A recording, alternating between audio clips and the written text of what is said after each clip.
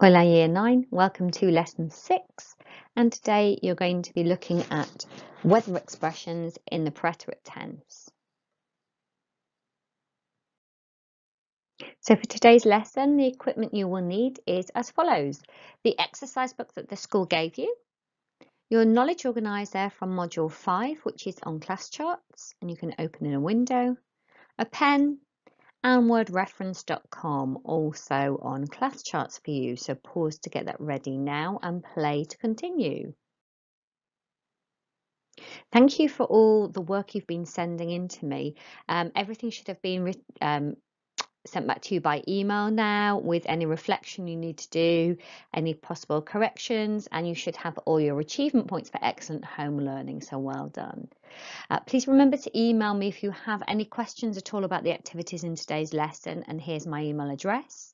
Plus, something a little bit new, I'm going to nominate six students every lesson and ask you to send me a photo in of your work and your names will be on class charts um, and also they'll be on the final slide today.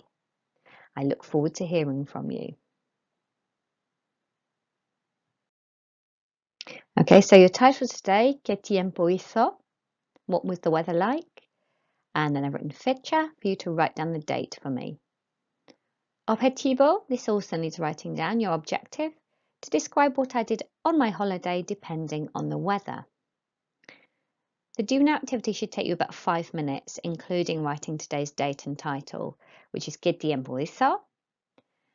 and completing the do now task, which is to translate the phrases. Just write in Spanish. There is no need to write in English because you have this information in your books from last lesson. If you need to check the date, it's on class charts. Okay, pause to complete this now and then press play to check your answers. And now please check your answers. El año pasado fui a Italia e hice turismo porque me gustó. Okay, so make sure you've got your accent on the O of me gustó.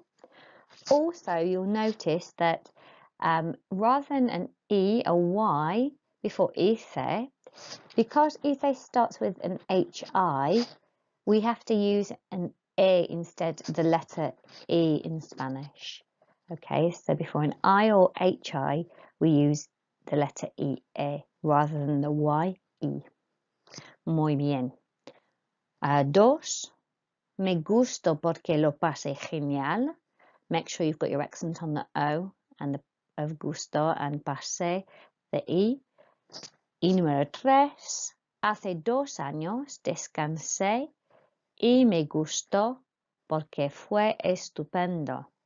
Make sure you've got your accent on descansé on the E and gusto on the O. Okay, I'm going to pass you on to Miss now to teach you the rest of the lesson. Please, if your name is on class charts on the final slide, send me photos of your fantastic work to get achievement points. Ok, gracias la clase, adiós. Okay, so now we're going to go over our past tense weather expressions. And what I would like you to do is repeat the Spanish after me. You'll recognise all of the vocabulary because we've already done it in the present tense. You'll just notice that it's the verb that's changed. Let's go. Hizo frío. Muy bien. Hizo sol. Hizo calor. Hizo buen tiempo. Hizo mal tiempo. Llovió. Let's do that one again. It's a trickier one. Llovió. So we've got our double L sound and our V, which is pronounced like a B. Moving on. Nevó. Hizo viento. Y por último, hubo nubes. Excelente, muy bien chicos. So we've only got one really tricky one there, which is llovió. And we just need to remember that we've got our double L at the beginning making our y sound, and then the V, which we pronounce as a B. Good work. Let's move on to matching up the vocabulary. As you can see, I've listed the vocabulary we've just been through on the left here in Spanish. And what I would like you to do is to write that down in your books and then write the correct English translation from the blue box next to it. So you'll write number one, llovió, equals it rained. And I think you'll do this in no time at all because you're already really confident with these expressions in the present tense. Please pause the video now to do this. Great work, Year 9. Let's move on to actually learning it. Okay, chicos, so please take a moment to check your answers. You can do this just by pausing the video and checking that you've got the correct English next to the Spanish. Well done. Let's move on. So, you know, and I thought we'd use Quizlet again to learn the vocabulary because I think it's a little bit more engaging than just doing it on your own. So, what you need to do is just like last time, follow the link to Quizlet, which is on class charts and is just the same as this link that I've popped on the screen. First of all, I'd like you to do the learn, write and spell sections, then do the match and gravity game before finally testing yourselves. So remember, if you're unable to access Quizlet, just spend 10 minutes doing look, cover, write, check to learn the vocabulary, and then spend 10 minutes testing yourselves on it. And once you've done that, we'll come back and put it all into context in a text. So please pause the video now and go back to class charts to click on the link. So at this point, you should have done your vocabulary work on Quizlet. Let's move on. Okay, so how we're going to tackle this text is by doing the following. I'm going to read a phrase in Spanish and then I'd like you to repeat it. And we'll do that until we reach the end of the text. Whilst you're listening, be really paying attention to my pronunciation and echo it as best as possible when you repeat the phrase after me. Let's go. El año pasado fui de vacaciones a Francia.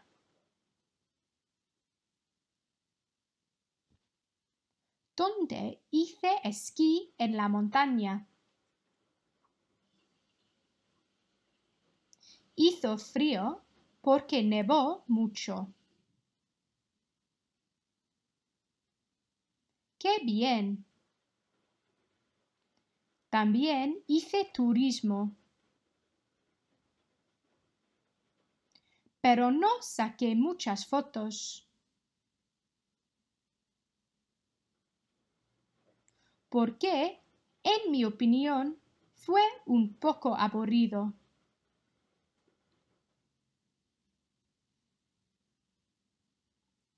Sin embargo, compré muchos recuerdos para mis amigos.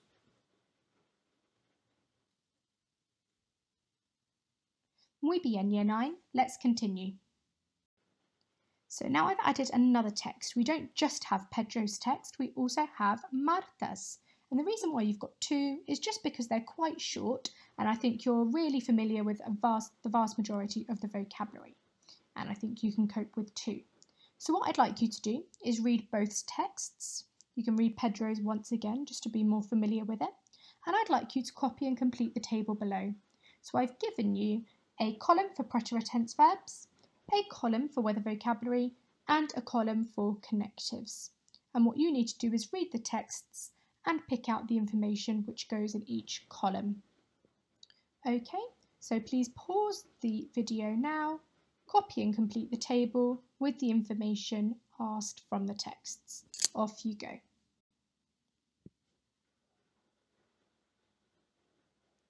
Great work. Let's see how you've got on. Okay, so here I've given you all the answers.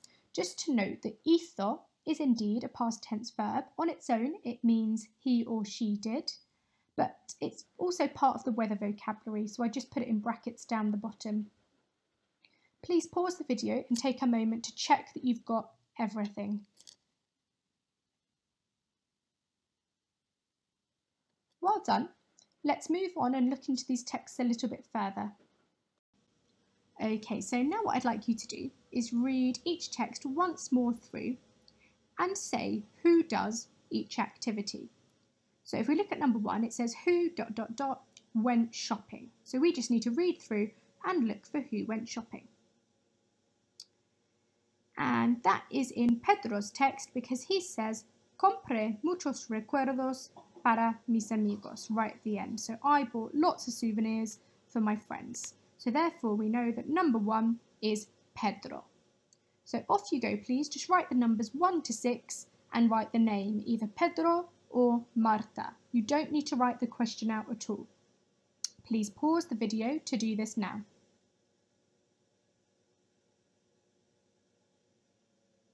Okay, let's check the answers. Okay, so number one we know was Pedro. Número dos is Marta. Número tres is also Marta. Número cuatro is Pedro. Número cinco is Marta. And número seis is Marta. If there's any of those which you got wrong, just go back and look at the text and find out why it was wrong. Good work. Let's move on to the final activity of today's lesson. Okay, so now we've been over these texts in a lot of detail, what I'd like you to do is translate Pedro's text to English. You can use your book if you need to to look back and find anything, but I think the vast majority of you will be able to give this a really good go just relying on what you know and what you've learned over the past series of lessons. Okay, please pause the video now and complete your translation. You don't need to write out the Spanish, just write the English. Great, get ready to check your answer. Okay, so let's go through the translation in English.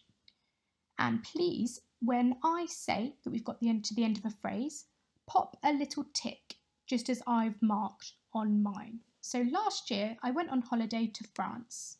If you've got that phrase correct, give it a tick. Where I went skiing in the mountains, give that a tick. It was cold because it snowed a lot, give that a tick. Great, give that a tick. Also, I went sightseeing, tick but I didn't take many photos. Because, in my opinion, it was a bit boring. Tick. However, I bought lots of souvenirs for my friends. Tick.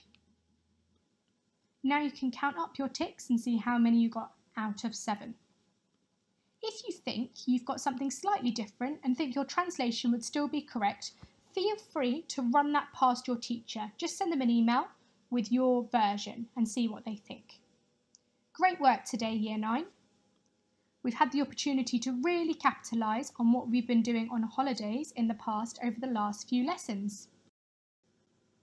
If you've got any time left at all, or would like just to stretch yourself that little bit further, what I'd like you to do is translate Marta's text to English. Feel free to then email it to your teachers and they can check the translation for you. Have a great rest of your day, Year 9, and you'll hear from me in your next lesson. Adios! Well done, Year 9. And my nominees for today's um, photo, please, of your fantastic work are Hamim, Megna, AJ, Maddie B, Jess, and Tyler. Gracias. Hasta luego.